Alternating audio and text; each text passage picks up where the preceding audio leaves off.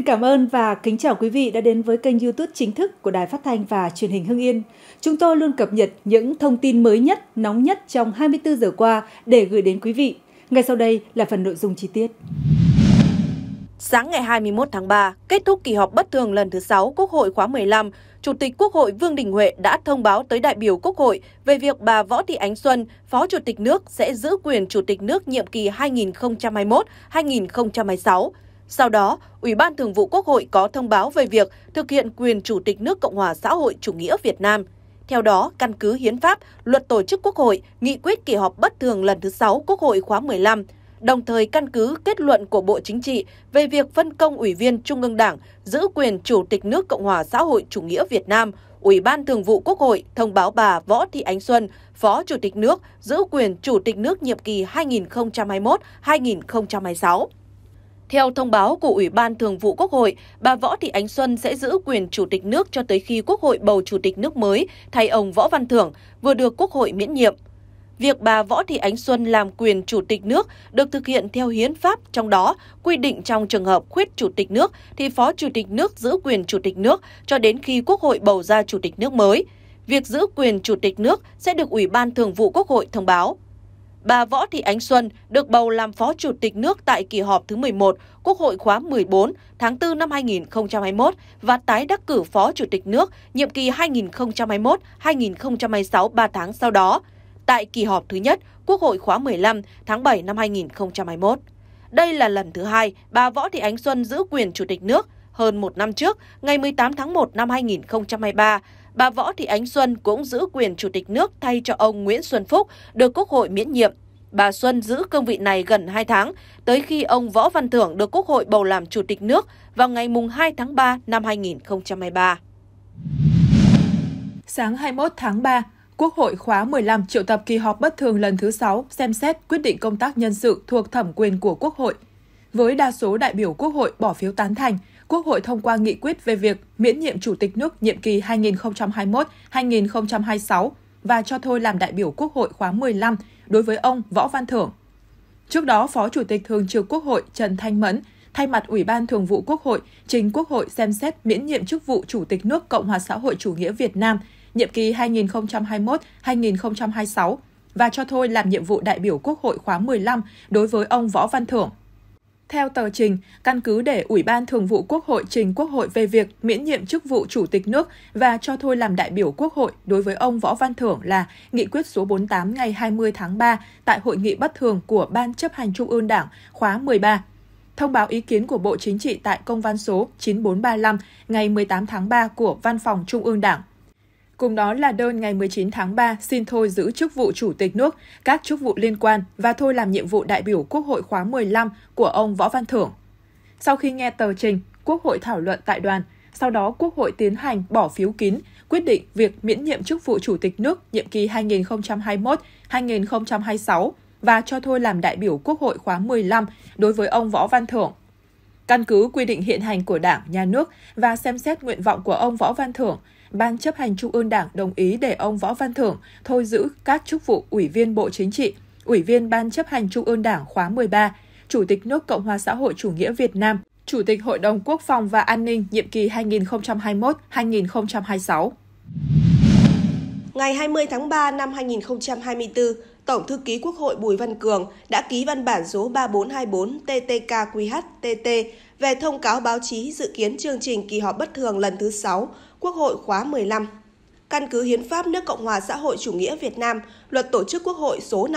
57-2014 QH13 đã được sửa đổi, bổ sung một số điều theo Luật số 65-2020 QH14, nội quy kỳ họp Quốc hội ban hành kèm theo nghị quyết số 71-2022 QH15 ngày 15 tháng 11 năm 2022 của Quốc hội, Ủy ban Thường vụ Quốc hội quyết định triệu tập kỳ họp bất thường lần thứ 6, Quốc hội khóa 15 để xem xét quyết định công tác nhân sự thuộc thẩm quyền của Quốc hội. Kỳ họp bất thường lần thứ 6 Quốc hội khóa 15 sẽ diễn ra trong buổi sáng ngày 21 tháng 3 năm 2024 tại nhà Quốc hội, thủ đô Hà Nội. Trước đó, ngày 20 tháng 3, tại trụ sở Trung ương Đảng, Ban chấp hành Trung ương Đảng khóa 13 đã họp xem xét cho ý kiến về việc cho thôi giữ các chức vụ, nghỉ công tác đối với ông Võ Văn Thưởng, Ủy viên Bộ Chính trị, Ủy viên Ban chấp hành Trung ương Đảng khóa 13, Chủ tịch nước Cộng hòa xã hội chủ nghĩa Việt Nam, Chủ tịch Hội đồng Quốc phòng và An ninh nhiệm kỳ 2021-2026. Trung ương cũng xem xét thi hành kỷ luật bà Hoàng Thị Thúy Lan, Ủy viên Ban chấp hành Trung ương Đảng khóa 13, nguyên Bí thư tỉnh ủy, Chủ tịch Hội đồng Nhân dân tỉnh Vĩnh Phúc. Theo đó, căn cứ quy định hiện hành của Đảng, Nhà nước và xem xét nguyện vọng của ông Võ Văn Thưởng, Ban chấp hành Trung ương Đảng đồng ý để ông Võ Văn Thưởng thôi giữ các chức vụ Ủy viên Bộ Chính trị, Ủy viên Ban chấp hành Trung ương Đảng khóa 13, Chủ tịch nước Cộng hòa xã hội chủ nghĩa Việt Nam, Chủ tịch Hội đồng Quốc phòng và An ninh nhiệm kỳ 2021-2026. Ông Võ Văn Thưởng là cán bộ lãnh đạo chủ chốt của Đảng và Nhà nước, được đào tạo cơ bản, trưởng thành từ cơ sở, được phân công giữ nhiều chức vụ lãnh đạo quan trọng của Đảng và Nhà nước. Tuy nhiên, vừa qua theo báo cáo của Ủy ban Kiểm tra Trung ương và các cơ quan chức năng, ông đã vi phạm quy định về những điều đảng viên không được làm, quy định về trách nhiệm nêu gương của cán bộ đảng viên, trước hết là Ủy viên Bộ Chính trị, Ủy viên Ban Bí thư, Ủy viên Ban chấp hành Trung ương Đảng và chịu trách nhiệm người đứng đầu theo các quy định của Đảng và pháp luật của nhà nước. Những vi phạm, khuyết điểm của ông Võ Văn Thưởng đã gây dư luận xấu, làm ảnh hưởng đến uy tín của Đảng, nhà nước và cá nhân ông. Nhận thức rõ trách nhiệm trước Đảng, nhà nước và nhân dân, ông Võ Văn Thưởng đã có đơn xin thôi giữ các chức vụ được phân công và nghỉ công tác. Bên cạnh đó, căn cứ nội dung, tính chất, mức độ, hậu quả, nguyên nhân vi phạm, thực hiện quy định của Đảng về kỷ luật tổ chức Đảng, đảng viên vi phạm, Ban chấp hành Trung ương Đảng quyết định thi hành kỷ luật bà Hoàng Thị Thúy Lan bằng hình thức khai trừ ra khỏi Đảng. Ban chấp hành Trung ương Đảng giao cho Bộ Chính trị chỉ đạo các cơ quan liên quan triển khai thực hiện các thủ tục theo quy định. Bà Hoàng Thị Thúy Lan, Ủy viên Trung ương Đảng khóa 13, nguyên Bí thư tỉnh ủy, Chủ tịch Hội đồng Nhân dân tỉnh Vĩnh Phúc đã suy thoái về tư tưởng chính trị, đạo đức, lối sống, vi phạm nghiêm trọng quy định của Đảng, pháp luật của nhà nước trong thực hiện chức trách, nhiệm vụ được giao, vi phạm quy định những điều đảng viên không được làm và trách nhiệm nêu gương, tiêu cực, nhận hối lộ, gây hậu quả rất nghiêm trọng, dư luận bức xúc, ảnh hưởng rất xấu đến uy tín của tổ chức đảng và chính quyền địa phương. Tính từ đầu khóa 15 đến nay, Quốc hội đã tổ chức thành công 5 kỳ họp bất thường. Gần đây nhất, đầu năm 2024, Quốc hội quyết sách hàng loạt vấn đề hệ trọng tại kỳ họp bất thường lần thứ 5. Mới đây, ông Nguyễn Văn Hiếu, Giám đốc Sở Giáo dục và Đào tạo Thành phố Hồ Chí Minh yêu cầu trường khẩn trương giải quyết vụ gần 1.400 học sinh trường quốc tế Mỹ Việt Nam AISVN đến trường nhưng không có giáo viên giảng dạy. Sở Giáo dục và Đào tạo Thành phố Hồ Chí Minh yêu cầu Chủ tịch Hội đồng trường, hiệu trưởng trường thực hiện chuyên môn, quản lý nhà trường đúng theo quy định. Trường cần nhanh chóng có giải pháp xử lý, chấm dứt tình trạng giáo viên xin nghỉ đồng loạt để bảo đảm việc tổ chức hoạt động giáo dục ổn định. Sở đề nghị trường thực hiện các giải pháp duy trì và tổ chức dạy học, hoạt động giáo dục đúng kế hoạch chương trình, bảo đảm tối đa quyền lợi học tập cho học sinh, giải quyết cho các em chuyển trường theo nhu cầu của phụ huynh. Trường quốc tế AISVN có trách nhiệm thực hiện báo cáo gửi Sở Giáo dục và Đào tạo Thành phố Hồ Chí Minh thông qua phòng quản lý cơ sở giáo dục ngoài công lập trước 15 giờ hàng ngày. Đặc biệt, Sở Giáo dục và Đào tạo Thành phố Hồ Chí Minh yêu cầu trường quốc tế AISVN phải đặt ưu tiên trong việc bảo đảm quyền lợi học tập cho học sinh, không để việc học của học sinh bị gián đoạn. Lãnh đạo sở này cũng đề nghị trưởng phòng giáo dục và đào tạo các quận, huyện, thành phố Thủ Đức, hiệu trưởng các trường trung học phổ thông, trường phổ thông có nhiều cấp học và trường có vốn đầu tư nước ngoài, tạo điều kiện thuận lợi cho việc tiếp nhận học sinh có nhu cầu chuyển từ trường quốc tế AISVN đến học. Những ngày qua, nhiều phụ huynh có con học tại trường quốc tế Mỹ gửi đơn cầu cứu gây xôn xao dư luận. Sở Giáo dục và Đào tạo Thành phố Hồ Chí Minh đã mời bà Nguyễn Thị Út Em, Chủ tịch Hội đồng Quản trị trường lên làm việc. Sở cũng đã cử đoàn cán bộ trực tiếp đến trường để làm việc.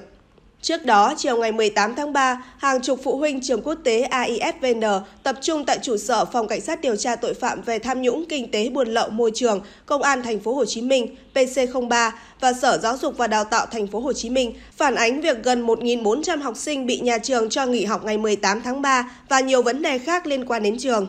Theo các phụ huynh, ngày 17 tháng 3, Hội đồng trường quốc tế AISVN tổ chức họp với phụ huynh học sinh để thông tin về tình hình hoạt động của nhà trường. Tại buổi làm việc, bà Nguyễn Thị Út Em, Chủ tịch Hội đồng trường cho biết tài chính của trường hiện khó khăn, không ổn định. Trường không thể trả lương cho giáo viên và nhân viên trường nhiều tháng nay, dù trường đã tập trung tìm kiếm giải pháp giải quyết tình hình khó khăn về tài chính hiện nay nhưng không khả thi. Buổi làm việc diễn ra hơn 8 tiếng đồng hồ, không tìm được tiếng nói chung giữa nhà trường và phụ huynh. Đến 21 giờ cùng ngày, bà Nguyễn Thị Út Em gửi email cho toàn thể phụ huynh thông báo về việc tạm cho học sinh nghỉ học trong ngày 18 tháng 3. Sau một ngày cho học sinh nghỉ học và bị phụ huynh kịch liệt phản đối, tối ngày 18 tháng 3, bà Nguyễn Thị Út Em đã gửi email tới toàn thể phụ huynh thông báo việc trường sẽ mở cửa tiếp tục dạy học vào ngày 19 tháng 3. Tuy nhiên, kể từ thời điểm trường mở cửa trở lại, trường không hề có giáo viên đứng lớp. Học sinh đi học hay không, đến hay về đều không có bất kỳ sự kiểm soát nào từ nhà trường. Một số phụ huynh cho biết họ đưa con đến trường nhưng phải ngồi ở căng tin vì không có giáo viên giảng dạy.